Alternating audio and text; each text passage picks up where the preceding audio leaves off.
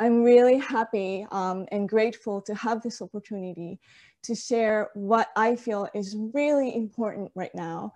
Um, music as an overlooked resource to heal and unify us, um, enhance our humanity. And so let us begin. I'm going to have three portions in my presentation today.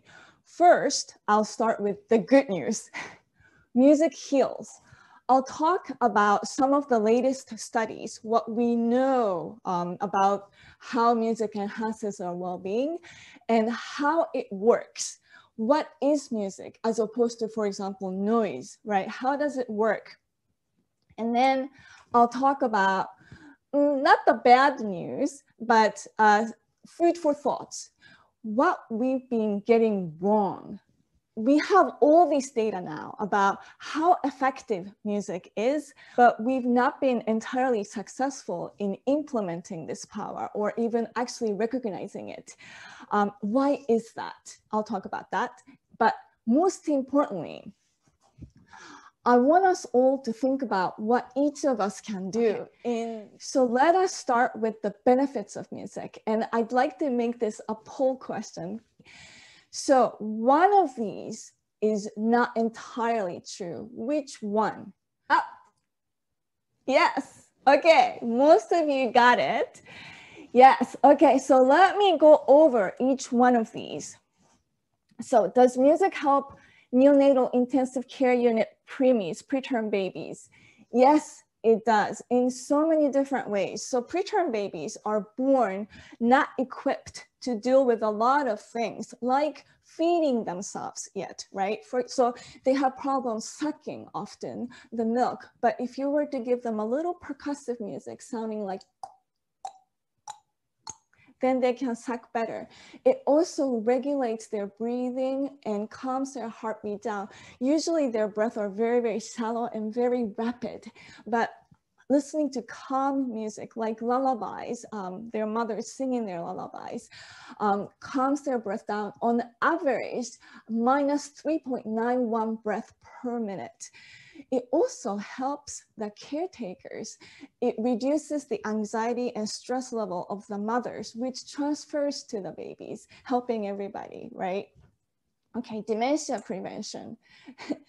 Musicians are 64% less likely to develop dementia. Okay, this I have to talk about. So this was a nationwide study done in Sweden. And what they did was to take all the twins that were above the age of 65. And they took twins where one of the twins had um, dementia and the other one didn't. And they asked a whole bunch of questions about their lives, marriage, food preference, blah, blah, blah. And it turned out one of the differences was that one played, one without the dementia, um, played an in, uh, instrument for more than five years and pretty regularly still. But this ended up being a very, very small group of uh, twins, even in the nationwide study. So it was like, I think it was 153 pairs of twins. So it's still a very small group um, and this needs to be researched more, but still it kind of indicates that, you know, instrumental playing helps. And also there is also a study that if you studied instruments as a child for 10 years or longer, you're less likely to develop dementia. Now, improves productivity. Inconclusive, music does help with endurance right? Um, it decreases your pain perception. And uh, for example, if you're on a treadmill, you're more likely to run 20% longer um, than without music. Um, if you're a factory worker doing repetitive work all day long, music helps with your productivity. If you need to coordinate your movement with your peers, then music definitely helps. Music helps with a lot of things, but if your task was intellectual. if it, required mental focus, then music can be a distraction because it takes up a lot of your cognitive capacity, right? It makes sense.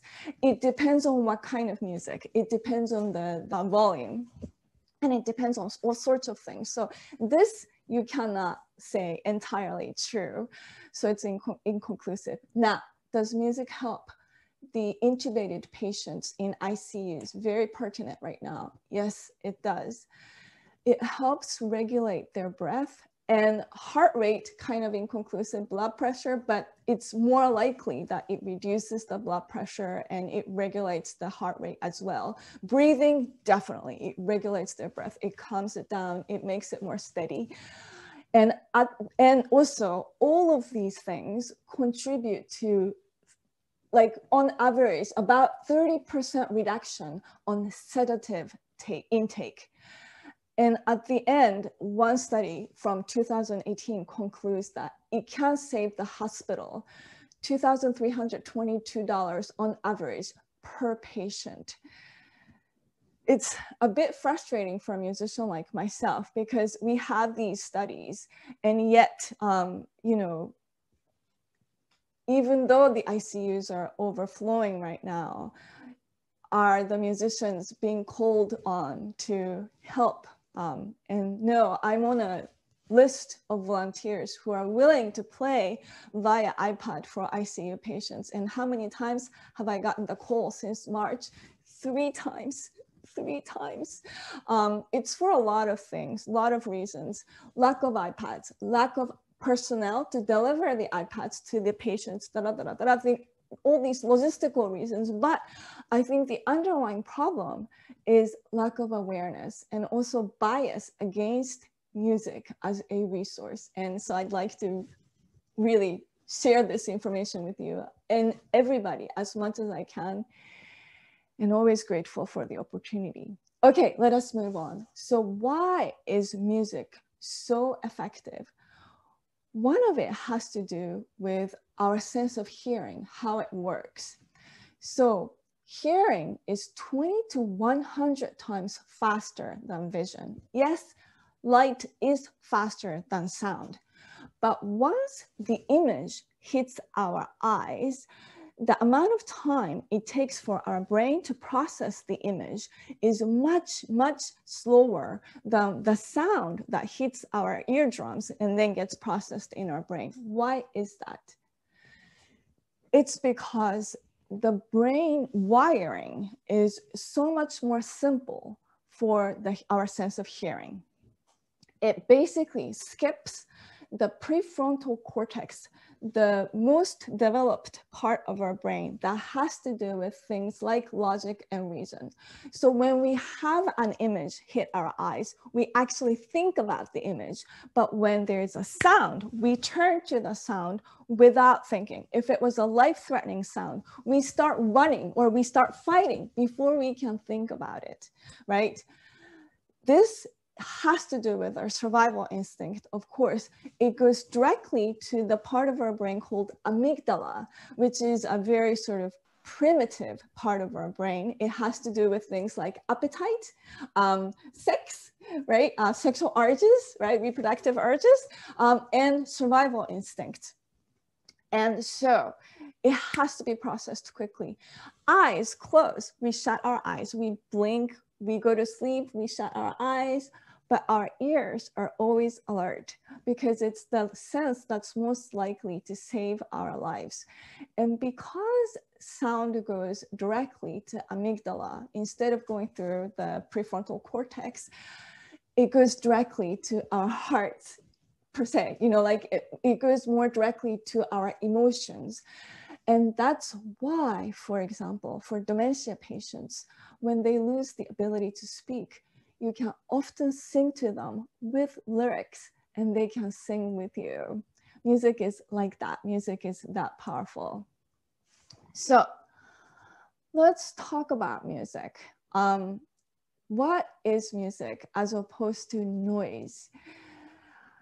Music is a sound with patterns that we are familiar with. And when when our expectation is defied we find it amusing. I think that's music right? So if it's like a very steady pattern sound it, it's it gets boring. Like metronome sound you don't find musical right? But if there is a slight variation ah, you know? And also, so music is said to consist of three components, rhythm, melody, and harmony. And different parts of the music um, speaks to our brains in different ways. Rhythm synchronizes our biorhythms. So like I said about the preemie babies and patients on in, um, ventilators, it regulates our heartbeats, it regulates our breathing. It also, our brain waves start synchronizing when we listen to music communally. And we find this very, very bonding and reassuring as a social animal. Music also stimulates the motor cortex, the part of our brain that has to do with motion. So even if we are completely still as we listen to music, the part of our brain that has to do with motion is actually ignited as though we are moving a little bit. And we can use this part of the music this way. So this is Mark. He has a spinal uh, cord injury, so he can only walk this way. But on the same day, same shirt, same shoes, same day, with music,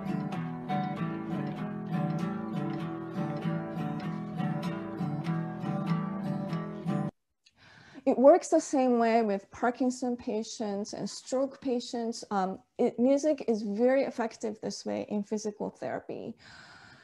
That's only one example, but in the interest of time, let us move on to melody. Melody, simply put, is just a pitch inflection and it reflects our vocal inflections, right? So when we get excited, our voice goes up right? And then when we are calmer or when we are tired or sad, our voice goes lower. And that's universal. Before we start speaking, we recognize this.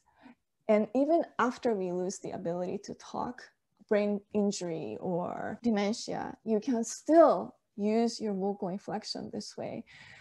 And you know, in this day and age, um, when many of our communications are via digitized means like emails, not even handwriting, right? We tend to forget to listen to each other's voices and not just the words. So let us listen to this recording to remind ourselves the importance of vocal inflections. Arro, arro, arro. Oh. Oh. Mm. que fofa. I love this recording. Harmony. So let me talk about Pythagoras. it was Pythagoras, actually, there are lots of legends about Pythagoras, Pythagoras, but you know, he's so old, we actually have very little records. So we don't know if it actually happened. But we think, we say that he's someone that discovered that. So what you're seeing right now, the top is the sound wave, right? And then one lower is twice as fast sound frequency, which is this note. And then, so this is two to one, right? And then below that is two to three, this note. And then below that, three to four. And then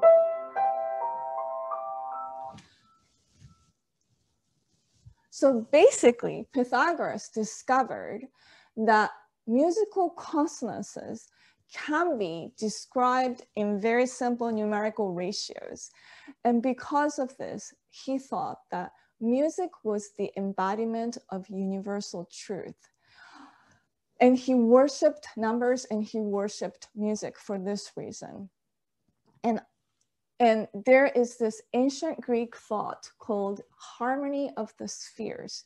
So the ancient Greeks considered everything that has motion to have sound. And so, you know, stars are moving, so they must be making some kind of a sound, right?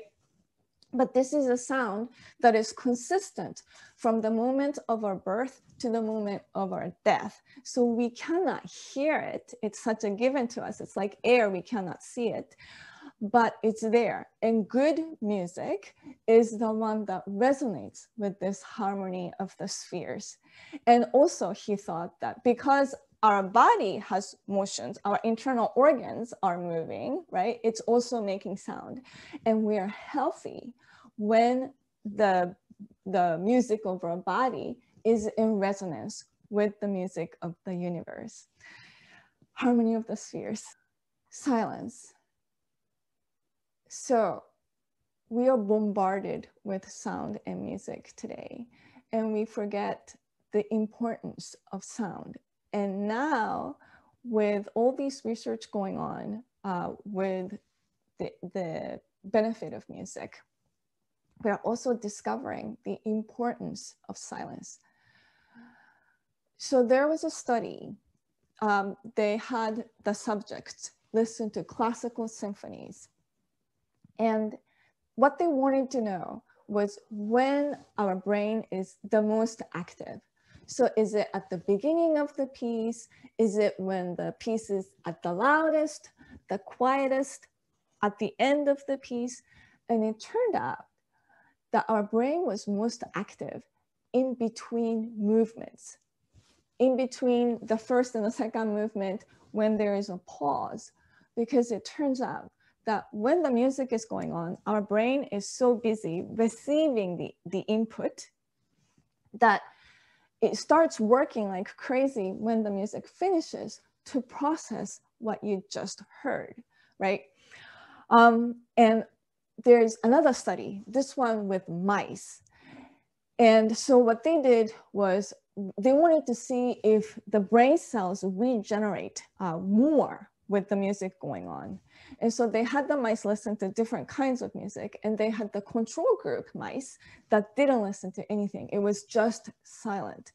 And it turned out that the mice in silent had cells in their gray matter, a part of our brain, um, just grow more.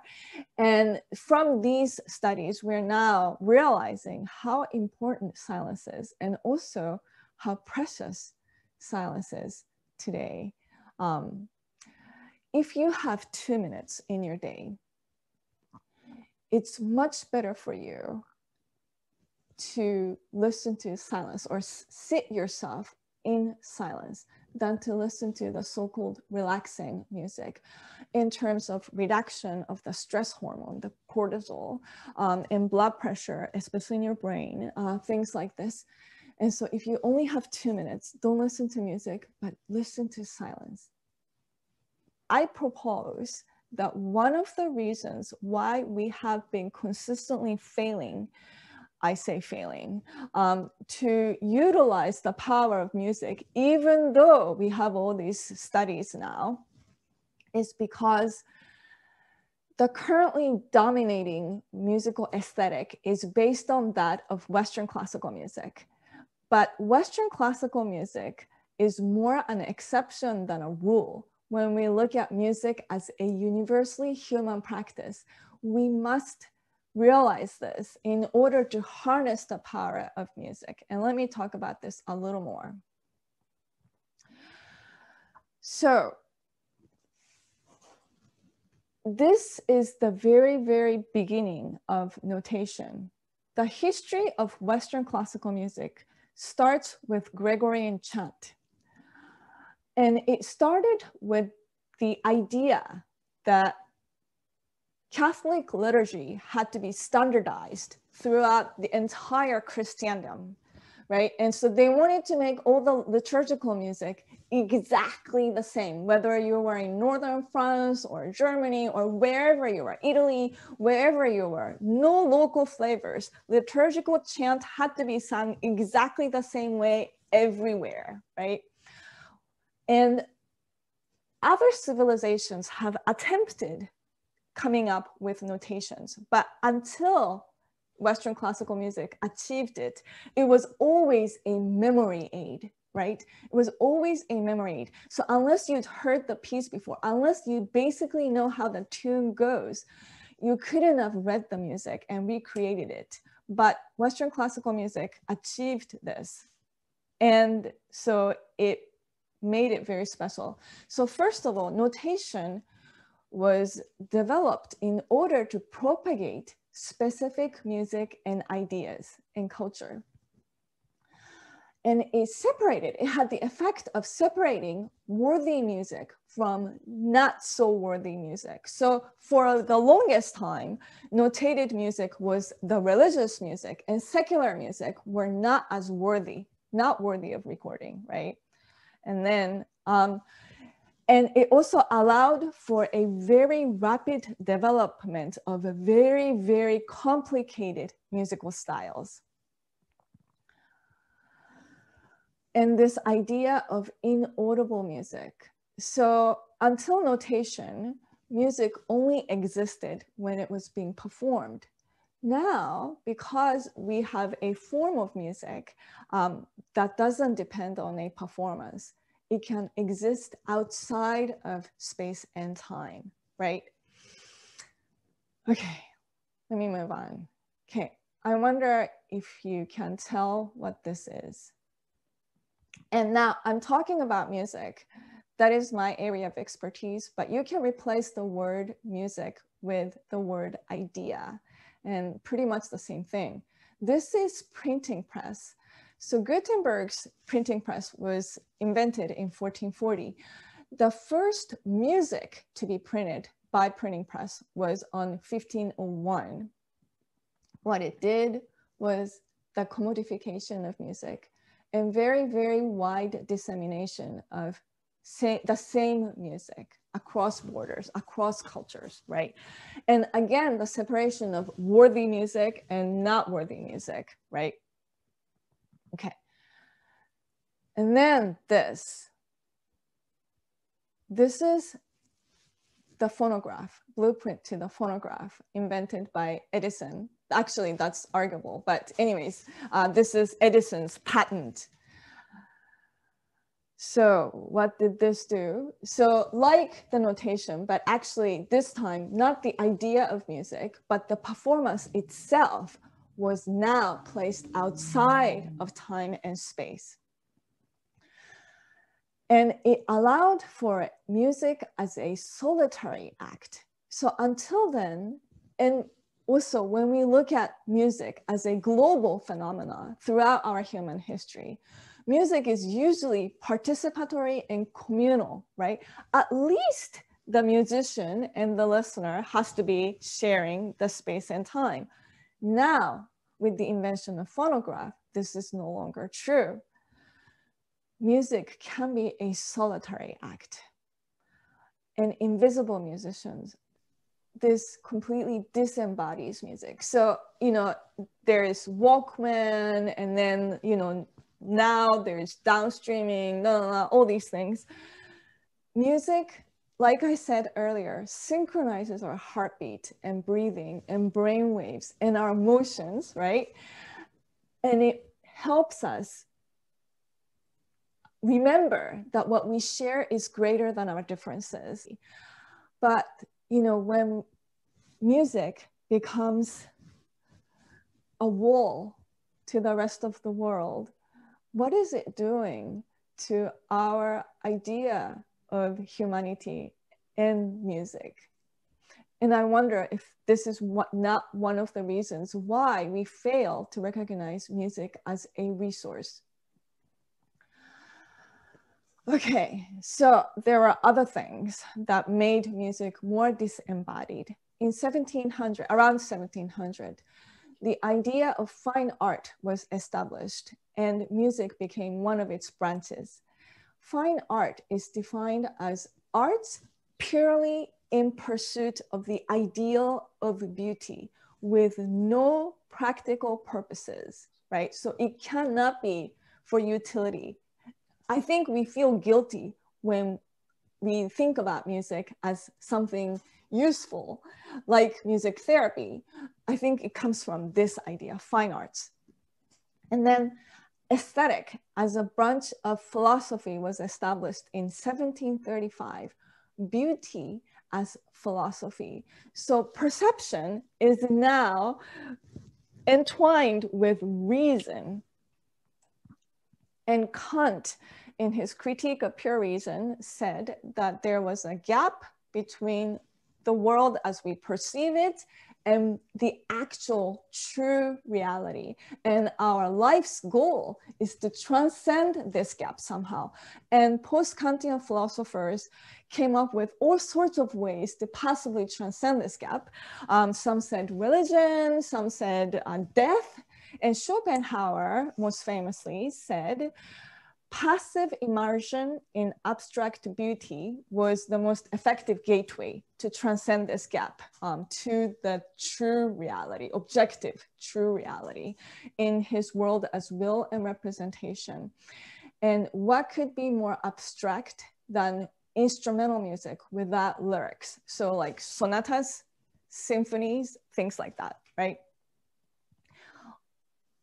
And so these things led to the audience, the consumers, whose only participation was expected to be in passive admiration, right? Um, they were overwhelmed. They didn't know what to do. And so program notes, you know, that talks about what the music is about and all these started around this time also there were people you could hire to clap and say bravo and things like this um, if you were the presenter or the composer, right? Um, they needed to be told if the music was good or not because people were starting to feel overwhelmed and insecure.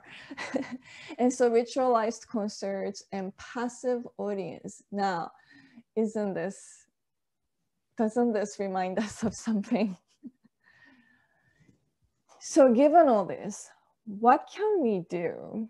And I will make some very theoretical suggestions, but I'd like you to think about what can you do? Maybe it's to start the piano lessons that you've been meaning to start long, long time ago, or maybe to go back to that LP um, that's been collecting dust, or maybe you want to start composing again. Maybe you want to sing as families again, like you used to in our daily lives think of music as an embodied practice to enhance your well-being, to optimize your executive function. So, you know, really being engaged with music can increase your focus, increase your, your memory capacity. It can also increase your emotional control. Um, it can organize your life better, things like this. Music helps you savor the here and now. Okay, it, think of listening as a mindful practice. And in our relationships, music as a bonding ritual. And when we when I say music, it doesn't have to be the whole entire symphony. It could be just a very little bitty short like cues, you know, um, like like a like a bell sound or like a anything, you know. Think of music as something that's more valuable when you share it, like laughing, meals, and exercise. When you laugh together, it's even funnier.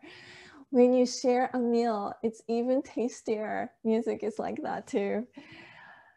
Okay, and music can be a reminder that what we share is greater than our differences. Very pertinent right now, I think. And in our society, what can I do better as a musician and researcher to promote this? If you have any idea, I'd love to brainstorm with you. Music as a resource. Music encourages empathy. Empathy requires courage. It's, it's, it takes courage to empathize with somebody who is suffering, but music, music helps us do this. And music is inaccess inexpensive and accessible. So compared to medicine, one doctor can see one patient at a time, but music, no problem.